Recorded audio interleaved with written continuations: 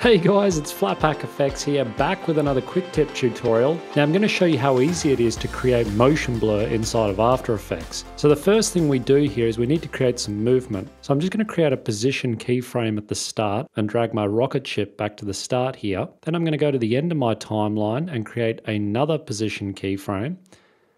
And I'm going to drag my rocket ship across the screen. So if I just play through what we have here now, you can see we've got our rocket ship moving across the screen, but there's no motion blur on the rocket ship itself. So all we have to do now is just activate the motion blur tab, which is this button here, and then we can activate motion blur for the individual layer and you can see it's automatically added motion blur to the moving object. Now if you want to add more or less motion blur, you can right click and go to composition settings and if you come across to the advanced tab, you see this number here called the shutter angle. So if you want more motion blur, you can increase that number or if you want less, you can decrease it.